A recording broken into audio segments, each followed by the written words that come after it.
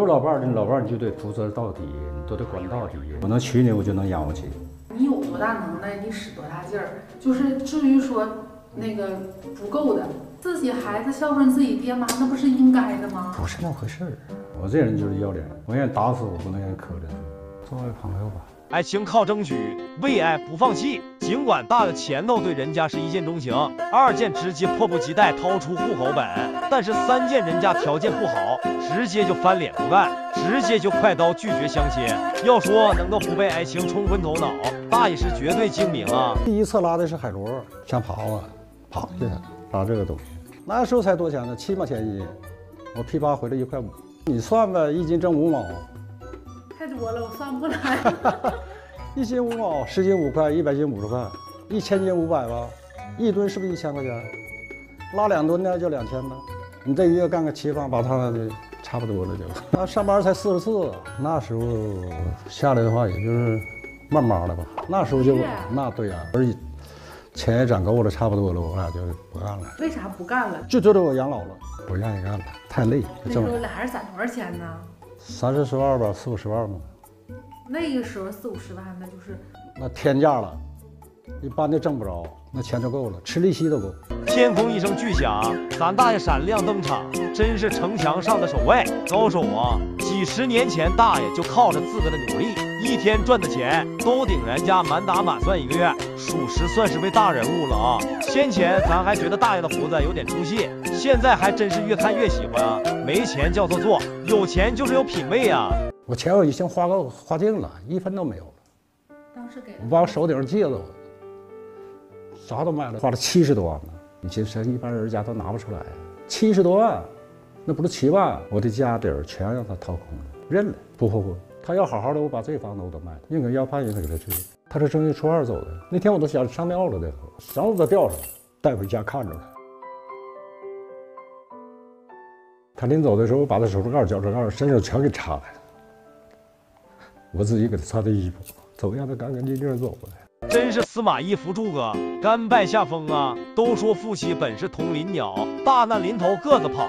但是咱大爷玩的就是不抛不弃，至死不渝。自己辛苦了多年存的几十万块，为了给前妻治病，那可真的是倾尽所有的努力了啊！这七十多万全部砸锅卖铁。要咱说，要是大爷想，都能换几个年轻貌美的了。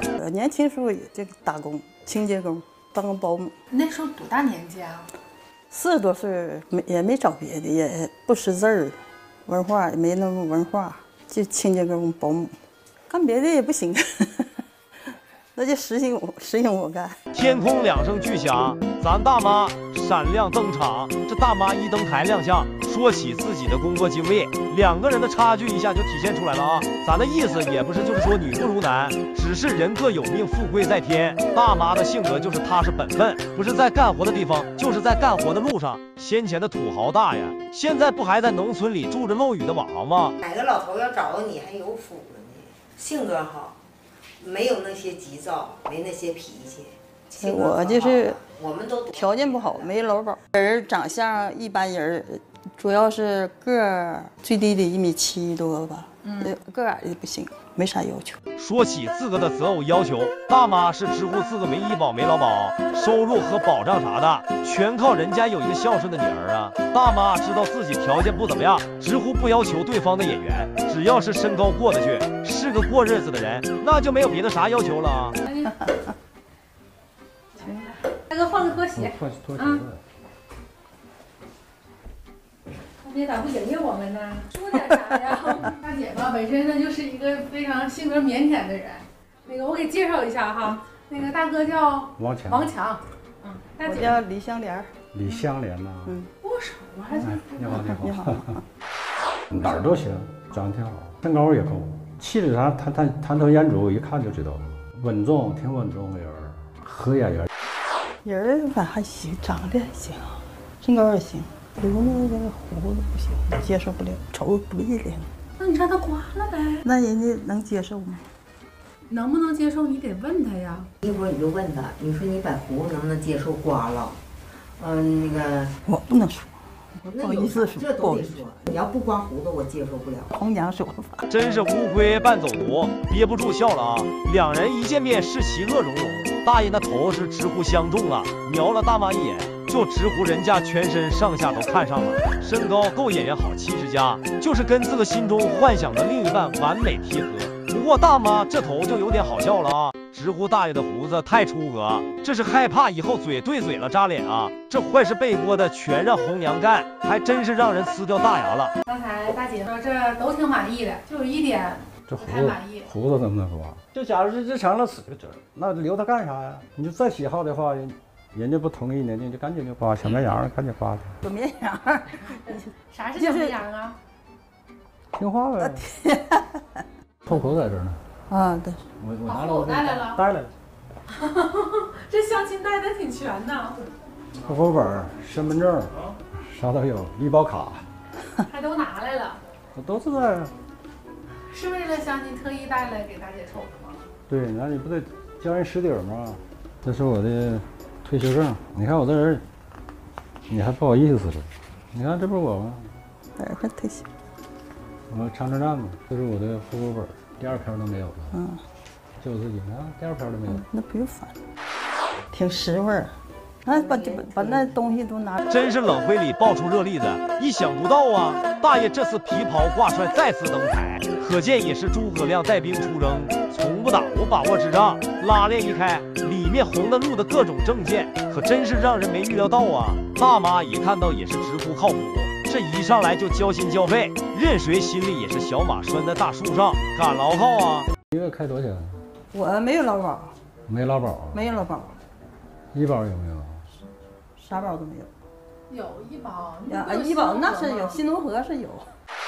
我们看病，那你医保卡，我们报销百分之九十是医保，它农合对呀、百分之三十，不是新农合现在不是百分之三十，就百分之五十那是啥呀？工资没有，将来以后连那个以后的保障都没有。就是我俩的话，三千块钱来回去去，孩子这个乱七八糟的事儿你不花呀，姑娘来了你不安排呀吃饭呐，你净拿人家掏掏钱，对不对吧？咱说这个，你哪管开两千块钱的，你就花不了，你自个存上。你你假设以后你有重大疾病的时候，你拿出了一笔钱来，真是和尚进了姑子庵，属实不妙啊！前头大爷还对人家一见钟情，直呼能够伺候大妈到老，现在一听说人家条件不好，马上就不乐意了啊！不过咱也能够理解，毕竟自个的工资足够两人吃喝，但是这日后要是出了点大事小事，那可就不好搞了，还真是精明的不得了。大哥刚才跟我说，他有一点顾虑。大哥说那意思，我这个工资，我俩俩人一个月三千来块钱，反正也够花。但是大哥说了，那我要找老伴儿，你说我不得对人家负责任吗？那你说万一人有个病有个灾儿啥的，他没有工资，我这钱要是这个都用在生活上，他说那那咋给人看病啊？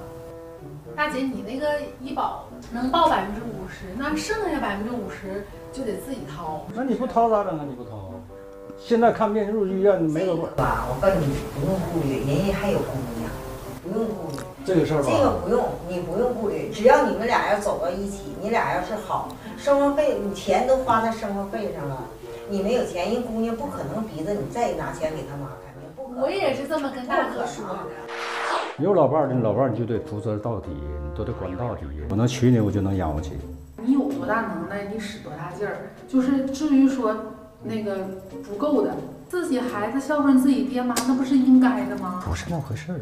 我这人就是要脸，我愿意打死我，不能愿意磕碜。作为朋友吧。有缘千里来相会，无缘对面不相逢。尽管人在相中，演员在喜欢，但是条件不好，腰包不足，想要真正促成一对婚事，那也是没那么简单的啊。尽管亲友团在一旁说好话圆场子，声称对方的女儿可以帮忙负担，但是大爷却不乐意了，直呼四个出门在外要脸面。咱也是明白了，合着就是要脸面，不要老婆。